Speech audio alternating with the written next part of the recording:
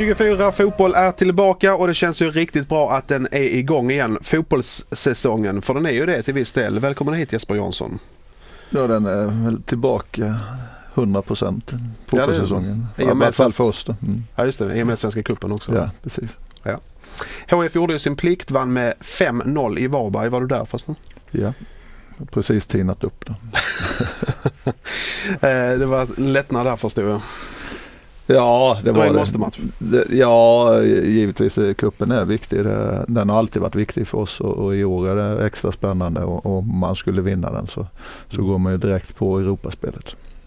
Och så här såg det ut på Heden i Helsingborg i söndags. AFF åkte på en riktig pärla mot eh, Norrköping eh, och Boys eh, förlorade också och de lagen möts ju till helgen i Landskrona.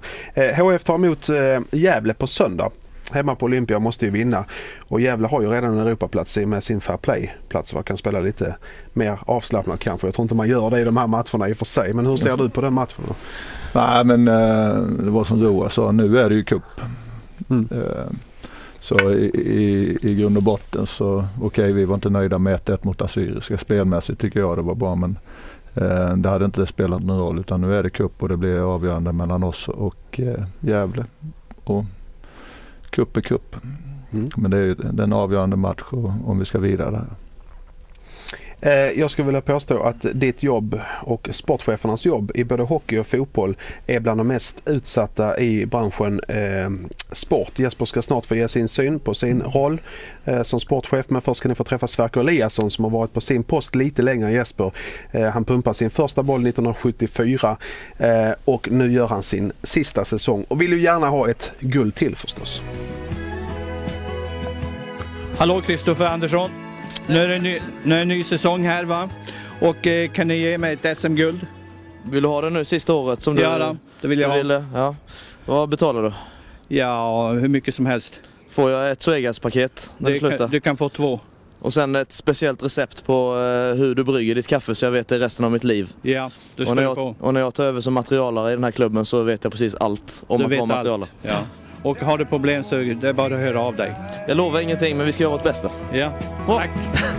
Men däröver går minnet med vinden så svag och det minnet är allt som Ja, jag går in med en bra känsla men det kommer att kännas vemodigt till hösten när det det är slut på detta. eh, Du kan få uppleva ditt tredje SM-guld under din sista säsong. Hur mycket skulle det betyda för dig? Ja, det ska ju betyda väldigt mycket för mig därför eh, det är inte många materialare som får vara med om eh, tre SM-guld som jobbar i en stor förening. Grabbar! Hallå grabbar! Nu är det ti- tid för en ny säsong. Kan ni ge mig ett SM-guld? Peter Larsson? Går du som bossman kan man säga. Eh, är det säkert att du lägger av eller det kan bli jobb i en annan klubb? Eh, jag lägger, av, lägger av helt och jag kan inte tänka mig att det blir jobb i någon annan klubb. Jag ska vara om Björklöven hör, hör av sig. Man vet aldrig vad som händer. Bedoya! Eh, hur är läget idag? Ja, det är bra. Det är sol kommer ut och en fin dag. Fryser du? Ja, alltid. Ja, alltid. Du, kan du lova mig en sak denna säsong? Vad? Att du ger mig ett SM-guld. SM-guld, jag hoppas. Ja, men du ska inte hoppas, du ska säga ja. Nej, Jag kan inte säga jag vet, Nej. men det är många bra lag, men vi, det, vi försöker. Försöka. Vi måste vinna. Därför, Vi måste eh, bli topp top två, topp tre. Ja. Och eh, det är min sista säsong så att eh, Va? Du, hoppas att du mig? kan bjuda, bjuda på är det. det sant? Ja, det är sant. Ja, okej. Och jag väntar på stocktröjan fortfarande. Okej, det är bra.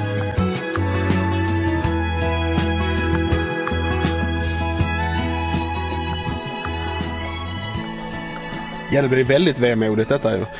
Uh, sitter han med en liten klump i halsen eller? Ja då, men det är ett, ett helt år vi ska jobba så eh, Ja. eh, nej men han är god Sverker. Så, eh, han har sett fram emot det och flytta upp till Norrland och sånt också så tror jag. Men eh, det är klart att vi kommer sakna honom. Men eh, som sagt vi ska ju försöka ta det där guldet för Sverker inte minst. Då. Precis. Eh, Rögles sportchef Pelle Svensson valde ju att hoppa av sitt jobb eh, då eh, i dagarna eller i förra veckan. Och, på, och det var ju på grund av arbetsbelastning, en hög arbetsbelastning. Har du haft de tankarna ibland att det har blivit lite för mycket? Ja det kan jag inte sticka under stol med. Det, det, det är klart, det är, det är en tuff arbetsbelastning eh, definitivt. Samtidigt så är det ju eh, ett intresse och det man brinner för liksom. Men eh, ibland blir det, blir det lite mycket. Mm. Har du övervägt att sluta någon gång? Eh, vad ska jag säga, du ska ha något bättre alternativ eh, och det, det ser jag inte än att få jobba i, i en, en, klubb man brinner för och jobba med det man vill. Så så, så långt har det inte gått nu. Vad skulle du kunna göra istället då?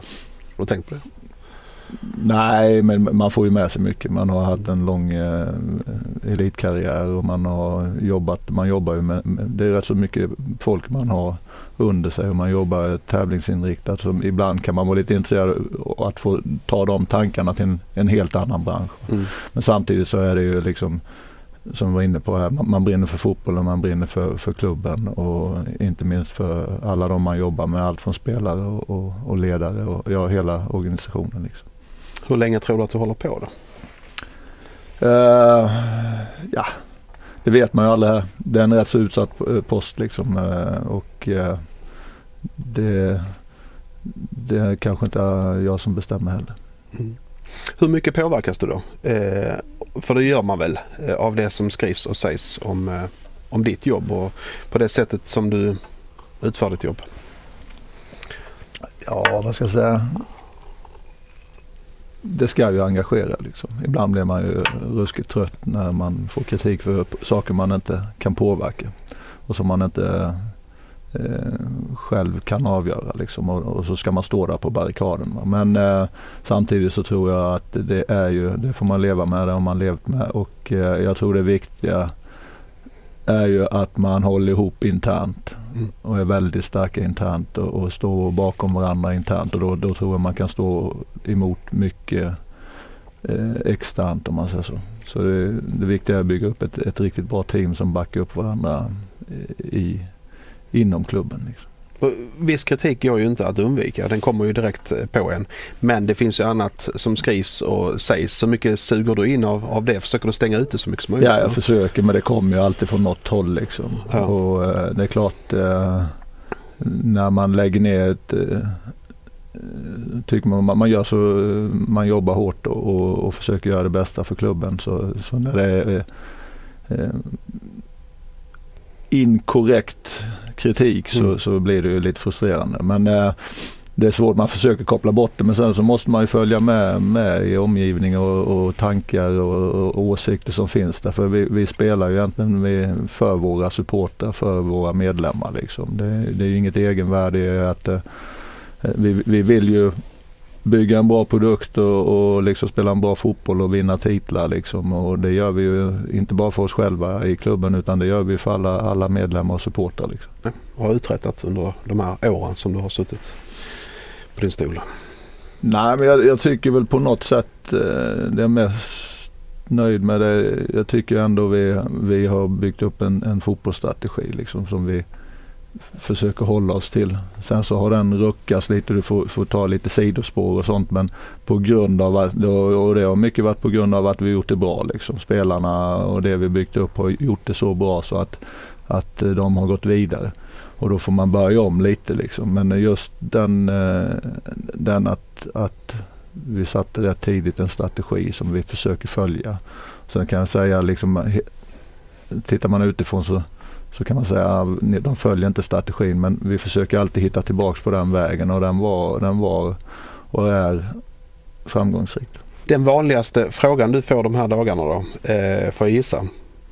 Ja det är ju, ja. Är det slutvärvat? Ja precis, ja. det är ju så. Ja. Men den, den har blivit eh, extrem de sista åren för det pågår hela året. Mm. Och det spelar ingen roll egentligen det, det, tar aldrig stopp det där. Kvittar det på året egentligen? Ja det, det gör det. Man, man, jag börjar bli lite så här, eh, Man glömmer bort att fotboll är ett lagspel. Kan man träna tillsammans, spela tillsammans eh, med samma killar så kan det ju vara lika framgångsrikt, om inte mer framgångsrikt. Mm. Det blir en väldig fokus på hela tiden nytt, nytt, nytt. Va? Och vi, har, vi har ju, som jag var inne på innan, det har blivit mycket omsättning men det har ju blivit mycket på grund av att det har gått så bra. Mm. Så att det vi var tvungna till omsättning. Så svaret på frågan är att det är slutvarvat den här gången i alla fall? Eh, Innan det här fönstret stänger. det, det, hela tiden händer så. Det kan hända Mm. saker. Det kan hända med skador, det kan hända med utlån. Det kan hända eh, hela tiden saker. Men det vi fokuserar på nu det är liksom att kan vi få spelarna friska så vet vi om att vi har en väldigt stark trupp. Liksom.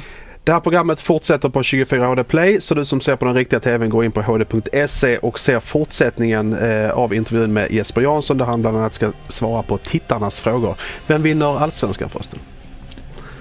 Vi siktar på det. Jag tror Elfsborg. Det gör du alltid.